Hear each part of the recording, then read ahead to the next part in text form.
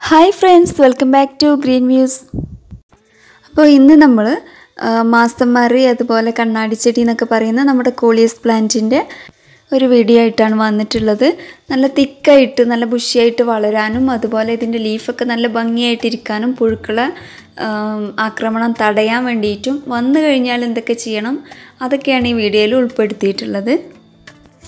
Gardening ഇഷ്ടപ്പെടുന്നവർക്ക് അത് അതായത് തുടക്കക്കാർക്ക് നന്നായിട്ട് വളർത്താൻ കഴിയുന്ന നല്ലൊരു പ്ലാന്റാണ് കോളേസ് പ്ലാന്റ് ഒരുപാട് വെറൈറ്റീസിൽ നമുക്കിത് അവൈലബിൾ ആണ്. അപ്പോൾ ഇതിന്റെ ലീഫിലാണ് മുഴുവൻ ഭംഗിയിരിക്കുന്നത്. അപ്പോൾ ഈ ലീഫ് നല്ല ഭംഗിയായിട്ട് കളർഫുള്ളായിട്ട് ഇരിക്കാൻ വേണ്ടിയിട്ട് ആദ്യമായിട്ട് നമ്മൾ ശ്രദ്ധിക്കേണ്ടത് നല്ല ലൈറ്റിംഗ് ഉള്ള സ്ഥലത്ത് വേണം ഇത് വെച്ച് കൊടുക്കാനായിട്ട്. അതായത് രാവിലത്തെ സൺലൈറ്റ് നന്നായിട്ട് കിട്ടുന്ന സ്ഥലത്തിൽ വേണം നമ്മളിത് നട്ടുപിടിപ്പിക്കാനായിട്ട്. നല്ല ബ്രൈറ്റ് ലൈറ്റ് കിട്ടിയാൽ മാത്രമേ നല്ല കളർഫുൾ ആയിട്ടുള്ള ലീഫുകളാവുള്ളൂ അതല്ല എന്നുണ്ടെങ്കിൽ തണലത്ത് വെച്ച് കഴിഞ്ഞാൽ ഇതിന്റെ ലീഫൊക്കെ ഒരു ഗ്രീനിഷ് ആയിട്ട് വരും. ഏത് നല്ല കളറുള്ള ചെടി നമ്മൾ കൊണ്ടുവന്ന് വെച്ച് കഴിഞ്ഞാലും അതൊരു ഗ്രീൻ കൂടുതലായിട്ട് ആ ഒരു രീതിയിലോട്ട് മാറിപ്പോവും. അതിന് ഭംഗിയിടും അടുത്തത് വാട്ടറിംഗ് ആണ്. നമ്മൾ നല്ല വെയിലത്ത് വെച്ച് കൊടുക്കുന്ന ചെടി ആയതുകൊണ്ട് തന്നെ അത്യാവശ്യം നന്നായിട്ട് തന്നെ വേരിലോട്ട് ഇറങ്ങിപ്പോകുന്ന രീതിയിൽ തന്നെ നമ്മൾ വെള്ളം നനച്ചു കൊടുക്കണം. ഒരുപാട് വെള്ളം കെട്ടി നിൽക്കാൻ അനുവദിക്കരുത്. അപ്പോൾ പെട്ടെന്ന് ലീഫൊക്കെ ഇങ്ങനെ പൊഴിഞ്ഞു പോയിട്ട് ഇത് ചീഞ്ഞു പോകാൻ ചാൻസ് ഉണ്ട്. അപ്പോൾ നന്നായിട്ട് തന്നെ വെള്ളം കൊടുക്കൽ ഇതിന് അത്യാവശ്യമാണ്. ഒരു ദിവസം വെള്ളം കിട്ടാതിരുന്നാൽ ഇത് വാടിപ്പോവും വെയിലത്തായതുകൊണ്ട് തന്നെ. ഡെയിലി നനച്ചു കൊടുക്കണം. അടുത്തതായിട്ട് ഇതിന് നമ്മൾ ഉപയോഗിക്കുന്ന പോട്ടി മിക്സ് ആണ്. ഇത് ചെറുതായിട്ടൊരു ഈർപ്പം ഇതിൽ എപ്പോഴും വേണം. അപ്പോൾ അതുകൊണ്ട് തന്നെ നമ്മൾ മണ്ണിന്റെ കൂടെ അല്പം ചകിരിച്ചോറും കൂടി ഉൾപ്പെടുത്തുന്നത് നന്നായിരിക്കും. ഇതിന്റെ വേരുകൾ നല്ല ആഴത്തിൽ തന്നെ ഇറങ്ങിച്ചെന്ന് വളർന്നാൽ മാത്രമേ ഇത് നല്ല ഒരുപാട് ബ്രാഞ്ചസ് ഒക്കെ ആയിട്ട് വരുള്ളൂ. അപ്പോൾ അങ്ങനെയുള്ളൊരു പോട്ടി മിക്സ് ആണ് നമ്മൾ റെഡിയാക്കി എടുക്കാനായിട്ട് അതായത് നല്ല ലൂസായിട്ടുള്ള മണ്ണ് കിട്ടണം. ടൈറ്റായിട്ട് ഇരുന്നാൽ ഇതിങ്ങനെ തറച്ച് പോയിട്ടുണ്ടെങ്കിൽ ഒരുപാട് ബ്രാഞ്ചസ് ഒന്നും വരില്ല ഇതിങ്ങനെ മുരടിച്ച് പോവും. അപ്പോൾ നമ്മൾ മണ്ണ് അതിന്റെ കൂടെ മണലോ അല്ലെങ്കിൽ ചകിരിച്ചോറോ ഉൾപ്പെടുത്തുക പിന്നെ അല്പം ജൈവവളം ജൈവവളം മാത്രം മതിയാവും. യൂസ് ചെയ്തിട്ട് നമ്മൾ പോട്ടി മിക്സ് റെഡിയാക്കിയിട്ട് വേണം വെച്ച് കൊടുക്കാനായിട്ട്. പിന്നെ ഇത് ചട്ടിയിലോ ഗ്രോ ബാഗിലോ ഇതുപോലെ നിലത്തോ നമുക്ക് വെച്ച് കൊടുക്കാം. ഇതിപ്പോൾ നിങ്ങൾ കാണുന്നത് മണ്ണിൽ സദാ തറയിൽ മണ്ണിൽ വെച്ച് കൊടുത്തിട്ടുള്ളതാണ്. അവിടെയും നല്ല ബുഷിയായിട്ട് തന്നെ നല്ല രീതിയിൽ വളർന്നു കിട്ടും. കുറച്ച് കാര്യങ്ങൾ നമ്മളൊന്ന് ശ്രദ്ധിക്കണം. നിങ്ങൾ ഈ കാണുന്ന ചെടികളൊക്കെ ഒരേ ഒരു തണ്ട് വെച്ച് കൊടുത്തിട്ട് നമ്മൾ വളർത്തിയെടുത്തിട്ടുള്ളതാണ് കേട്ടോ അപ്പോൾ ഇതിങ്ങനെ ആയി കിട്ടാൻ വേണ്ടിയിട്ട് പ്രൂണിങ് മസ്റ്റാണ് നമ്മൾ ഇടയ്ക്കിടയ്ക്ക് ഇതിങ്ങനെ കട്ട് ചെയ്തുകൊണ്ടേയിരിക്കണം ഫ്ലവർ വരാൻ അനുവദിക്കരുത്. ഇതിന്റെ ഈ മുകൾ ഭാഗം. ഇപ്പോൾ ഒരു ചെടി വെച്ച് കൊടുത്തു കഴിഞ്ഞാൽ അതൊന്ന് പിടിച്ച് വന്ന് ഉടൻ തന്നെ നമ്മൾ അതിന്റെ മുകൾ ഭാഗം കട്ട് ചെയ്ത് കൊടുക്കുക. അപ്പോൾ അതിനെ ചുറ്റുപോ ചുറ്റുഭാഗത്തും ബ്രാഞ്ചസ് ഒക്കെ ആയിട്ട് വരും. ആ ബ്രാഞ്ചസ് ഒന്നുകൂടെ വലുതായി വരുമ്പോൾ അതിനെ വീണ്ടും നമ്മൾ കട്ട് ചെയ്യണം. അങ്ങനെയാണ് ഇതുപോലെ ഇങ്ങനെ നല്ല ബുഷിയായിട്ട് ഒരുപാടായിട്ട് ചട്ടി നിറഞ്ഞ് നിൽക്കുകയുള്ളൂ നമ്മൾ കട്ട് ചെയ്യാണ്ട് വിട്ട് കഴിഞ്ഞാൽ പ്രത്യേകിച്ച് മണ്ണിലൊക്കെ വെച്ച് കൊടുത്തിട്ട് കട്ട് ചെയ്യാണ്ട് വിട്ട് കഴിഞ്ഞാൽ ഈ ചെടി വളർന്ന് വന്നിട്ട് ഒരുപാട് വളർന്നിട്ട് പൂവൊക്കെ വിരിഞ്ഞിട്ട് ഒരു ഭംഗിയില്ലാണ്ടൊരു വൃത്തിയില്ലാത്ത രീതിയിലായി പോകും. അപ്പോൾ നമ്മൾ നിർബന്ധമായിട്ടും കട്ട് ചെയ്ത് കൊടുക്കണം. പുതിയ പുതിയ ബ്രാഞ്ചസ് വരുമ്പോഴേ ഈ ചെടി കാണാനായിട്ട് ഒരു പ്രത്യേക ഭംഗി ഉണ്ടാവുള്ളൂ. ആ വരുന്ന തളിരിനെ വീണ്ടും വീണ്ടും നമ്മൾ കട്ട് ചെയ്തുകൊണ്ടിരിക്കണം. ഈ കാണുന്നതൊക്കെ ഒരേ ഒരു തണ്ട് വെച്ച് കൊടുത്തിട്ടുള്ളതാണ് കേട്ടോ ഇതിലൊക്കെ ഒരുപാട് ബ്രാഞ്ചസ് ഉണ്ട്. ഇതൊക്കെ നമ്മൾ അങ്ങനെ ചെയ്തെടുക്കുന്നതാണ്. പിന്നെ അടുത്തത് ഇതിന് കൊടുക്കേണ്ട ഫെർട്ടിലൈസറാണ് ഒരുപാട് വളമൊന്നും ഇട്ട് കൊടുക്കേണ്ട ആവശ്യമൊന്നും വരുന്നില്ല. നമ്മൾ മറ്റുള്ള ചെടികൾക്ക് ഇട്ട് കൊടുക്കുമ്പോൾ ജസ്റ്റ് ഒന്ന് ജൈവവളം യൂസ് ചെയ്താൽ മതി. അതല്ല എന്നുണ്ടെങ്കിൽ ഏറ്റവും നല്ലത് ചാണകം പുളിപ്പിച്ചതാണ്. പുളിപ്പിച്ച് അതിന്റെ ഒരു തെളിവെള്ളം ഒഴിച്ചു കൊടുക്കുക. അതായത് ചാണകം ഒരല്പം കടലപ്പിണ്ണാക്ക് അല്പം വേപ്പിൻ പിണ്ണാക്കും കൂടെ ഒരാഴ്ച നമ്മൾ വെള്ളം കൂടെ ചേർത്തിട്ട് മിക്സ് ചെയ്ത് ഒരാഴ്ച മാറ്റി വെക്കുക. ഒരാഴ്ച കഴിഞ്ഞതിന് ശേഷം അതിൽ നിന്ന് ഒരു കപ്പ് എടുത്തിട്ട് പത്ത് ലിറ്റർ വെള്ളം കൂടെ ചേർത്തിട്ട് നേർപ്പിച്ച് ഇതുപോലെയുള്ള ചെടികൾക്കൊക്കെ ഒഴിച്ചു കൊടുത്തു കഴിഞ്ഞാൽ നന്നായിട്ട് തന്നെ വളർച്ച ഉണ്ടാവും. അതുപോലെ നമ്മുടെ കഞ്ഞിവെള്ളം പുളിപ്പിച്ചിട്ട് നമ്മുടെ വീട്ടിലെ വേസ്റ്റ് എല്ലാം അതിലിട്ട് വെച്ച് പുളിപ്പിച്ചെടുത്ത് അത് ഡൈല്യൂട്ട് ചെയ്തിട്ട് വെള്ളത്തിൽ ഡൈല്യൂട്ട് ചെയ്തിട്ട് അതും സ്പ്രേ ചെയ്ത് കൊടുക്കാം. അപ്പോൾ നല്ല ഭംഗിയിൽ തന്നെ ലീഫൊക്കെ നല്ല ഭംഗിയിൽ തന്നെ നിൽക്കും. അല്ലാണ്ട് ഇതിന് കെമിക്കൽ ഫെർട്ടിലൈസേഴ്സിന്റെ ഒന്നും ഒരാവശ്യം വരുന്നില്ല കേട്ടോ. പിന്നെ ഈ ചെടിക്ക് കണ്ടുവരുന്ന പ്രധാനപ്പെട്ട ഒരു പ്രശ്നം ഇതിന്റെ ലീഫിനെ നശിപ്പിക്കുന്നതാണ്.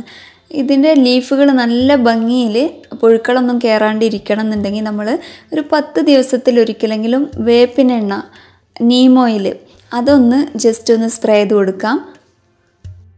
ഈ വേപ്പെണ്ണ രണ്ട് രീതിയിൽ നമുക്ക് യൂസ് ചെയ്യാം. ഒരു ലിറ്റർ വെള്ളം എടുത്തിട്ട് അതിലോട്ട് ഒരു നാല് എം എൽ വേപ്പെണ്ണയും ഒരു രണ്ട് എം എൽ സോപ്പും കൂടെ യൂസ് ചെയ്തിട്ട് നന്നായിട്ട് മിക്സ് ചെയ്തിട്ട് സ്പ്രേ ചെയ്ത് കൊടുക്കാം.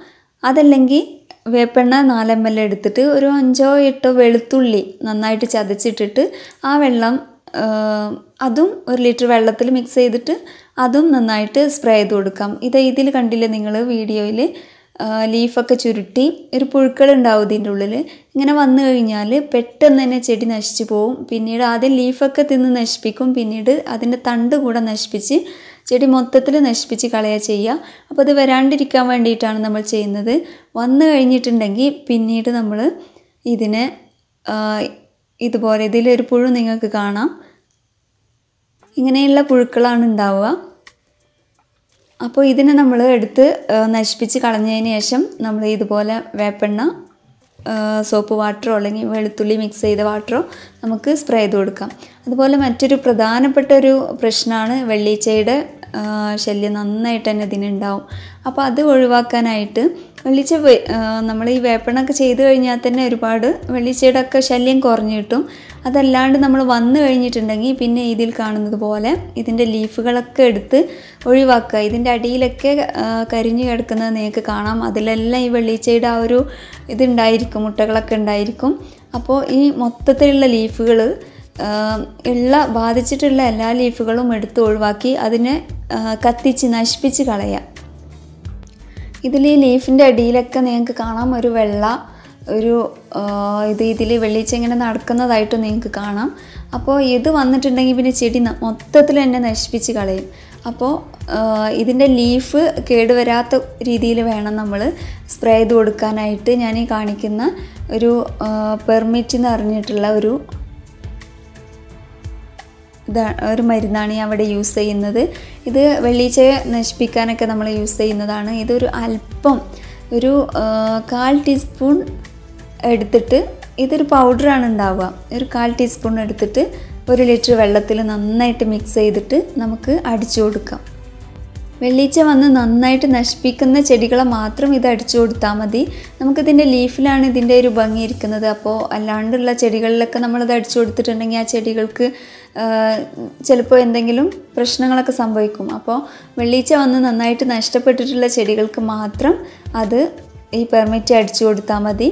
പെട്ടെന്ന് തന്നെ മൊത്തത്തിൽ ചത്ത് നശിച്ച് പുതിയ ലീഫൊക്കെ വന്ന് നല്ല രീതിയിൽ തന്നെ വളർന്നു വരും.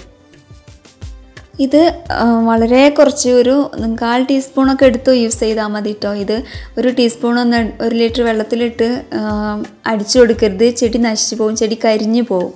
അപ്പോൾ നമ്മൾ രണ്ടോ മൂന്നോ ദിവസം ആക്കിയിട്ട് വളരെ കുറച്ച് എടുത്തിട്ട് രണ്ടോ മൂന്നോ ദിവസം ആക്കിയിട്ട് അങ്ങനെ സ്പ്രേ ചെയ്ത് കൊടുത്താൽ മതി.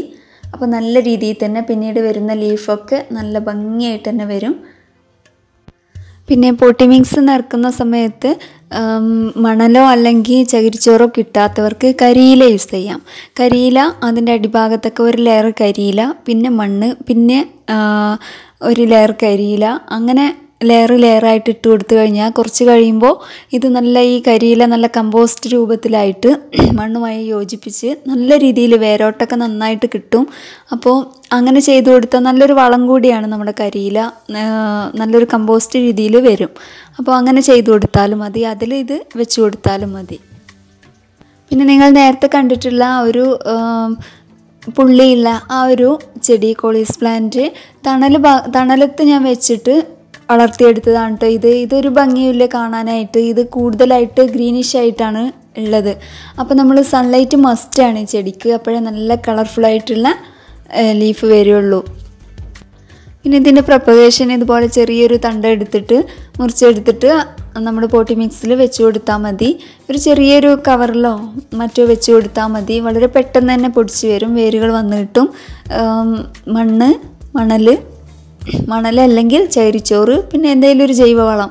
വളം ചേർത്ത് കൊടുത്തില്ലെങ്കിലും വലിയ കുഴപ്പമൊന്നുമില്ല. ഫസ്റ്റ് നമ്മൾ പിടിപ്പിച്ചെടുക്കുമ്പോൾ ഇതുപോലെ ഒരു ഹോളാക്കിയിട്ട് വെച്ച് കൊടുത്ത് നന്നായിട്ട് പ്രസ് ചെയ്തിട്ട് തണലത്തോട്ട് മാറ്റി വെച്ച് കൊടുക്കുക. ഒരാഴ്ച കഴിഞ്ഞതിന് ശേഷം മാത്രം വെയിലത്തോട്ട് വെച്ച് കൊടുത്താൽ മതി. നമ്മൾ ആ ടൈമിലൊന്ന് നനച്ച് വെച്ച് കൊടുത്ത ടൈമിലൊന്ന് നനച്ച് കൊടുത്തു കഴിഞ്ഞാൽ പിന്നീട് ഒരു രണ്ട് മൂന്ന് ദിവസം വെള്ളമൊന്നും കൊടുക്കണ്ട. പിന്നെ വെള്ളം ഓവറായി കഴിഞ്ഞാൽ ഇത് വേര് പിടിച്ച് പിടിച്ച് കിട്ടാൻ കുറച്ച് പ്രയാസമായിരിക്കും പിന്നെ മാത്രമല്ല ഇതിന് ലീഫ് പൊഴിഞ്ഞു പോയിട്ട് അത് ചീഞ്ഞു പോകാൻ ചാൻസ് ഉണ്ട്. അപ്പോൾ രണ്ട് മൂന്ന് ദിവസം പിന്നീട് വെള്ളം നനച്ച് കൊടുക്കേണ്ട തണലത്ത് വെച്ച് കൊടുക്കുക. അപ്പോൾ നല്ല രീതിയിൽ തന്നെ ആ ഒരു ലീഫ് ലീഫോട് കൂടിയിട്ട് പൊടിച്ച് നല്ല രീതിയിൽ വരും. പിന്നീട് നമ്മളിതാ ഇന്ന് നിങ്ങൾ ഈ കാണുന്ന പോലെ മുകൾ ഭാഗം കട്ട് ചെയ്ത് കൊടുത്തു കഴിഞ്ഞാൽ ഇതുപോലെ ഒരുപാട് ബ്രാഞ്ചസ് ഒക്കെ ആയിട്ട് ചെടി വളർന്നു വരും. മുകൾ ഭാഗം ഒന്ന് കട്ട് ചെയ്ത് കൊടുത്തിട്ട് നമ്മൾ നന്നായിട്ട് സൺലൈറ്റുള്ള സ്ഥലത്തോട്ട് മാറ്റി വെച്ച് കൊടുത്താൽ മതി.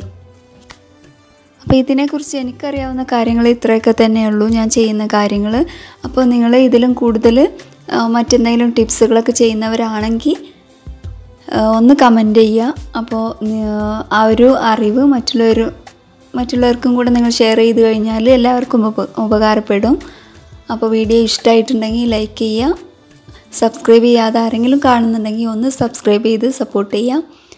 അപ്പോൾ നെക്സ്റ്റ് മറ്റൊരു വീഡിയോ ആയിട്ട് കാണാം ഇൻഷാല്ല ഓക്കെ താങ്ക്സ് ഫോർ വാച്ചിങ്